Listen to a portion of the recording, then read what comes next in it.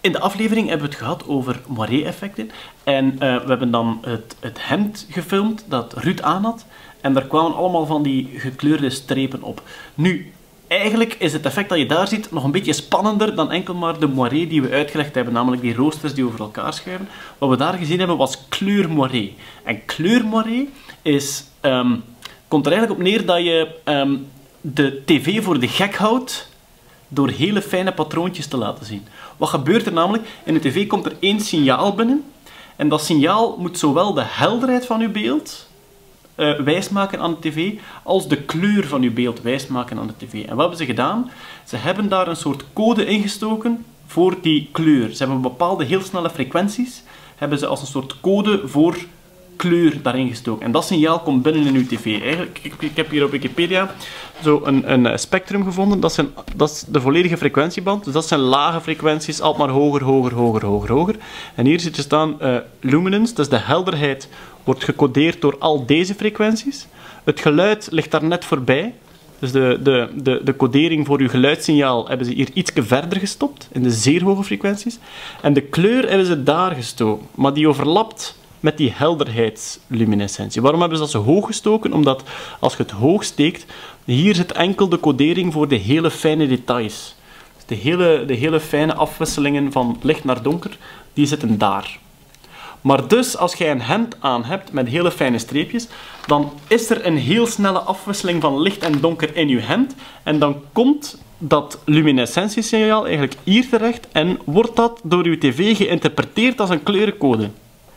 En dan krijg je dus op dat hemd allerlei kleurenbalken, omdat je tv helemaal in de war is.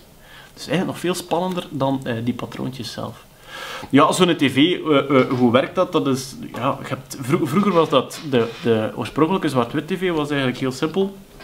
Je filmt een beeld en um, uw camera onderzoekt de helderheid van elk punt op dat beeld. Dus bijvoorbeeld, ik zal hier bijvoorbeeld eens een, een, een manneke tekenen. Zie zo.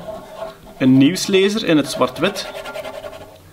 Dat is allemaal zwart. Wat doet een tv? Die gaat over die lijn, zegt wit, wit, wit, wit, wit, wit, wit, wit, wit, wit, wit. Dat doet de camera, hè.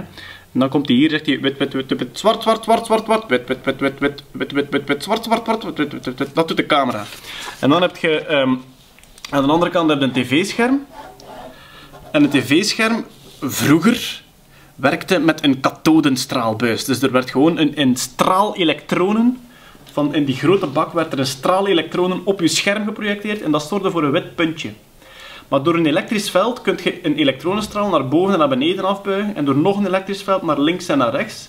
En door die juist af te stellen, konden er eigenlijk voor zorgen dat die elektronenstraal begon in de bovenhoek en altijd een lijn tekende en naar de volgende ging en naar de volgende en naar de volgende en naar de volgende.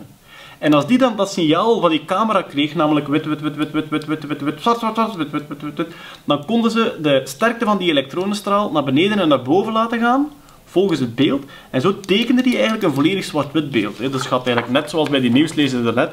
Elektronenstraal komt hier, is helder, helder, helder, helder, helder, helder, helder. En opeens zegt hij hier zwart, zwart, zwart, helder, helder, helder, helder, helder, zwart, zwart, zwart. En uiteindelijk, als die heel die als die al die lijnen gedaan heeft, dan verschijnt daar het beeld van uw nieuwslezer. En dat doet hij dan, ik denk, 24 of 25 keer uh, per seconde tekent hij dat volledig beeld. Maar, en dat is nog iets, dat is nog iets plezant, als die elektronenstraal hier was, dan moest hij terugkeren naar daar. Dan moest hij zo'n soort diagonaal maken, waarbij dat er geen beeld uitgezonden werd. En toen dachten ze, wacht eens, we hebben hier eigenlijk een fractie van een seconde over, waarin dat, dat signaal er wel is, maar niet gebruikt wordt, daar kunnen we eigenlijk beter tekstinformatie in steken. En dat is teletext. Dus teletext is, oorspronkelijk ontstaan door die, die tijd van die diagonaal op te vangen. En daarom vroeger ze op uw tv, de teletextpagina's, die werden zo ververst met nummertjes, zo 1, 2, 3, 4, 5, 6, 7, dat was omdat dat altijd tussen, tussen twee beelden, tussen twee frames, kregen ze altijd maar één pagina en dan moest je wachten tot als de juiste pagina passeerde. En voilà. En dat is de extra info over moiré en televisiebeeldjes.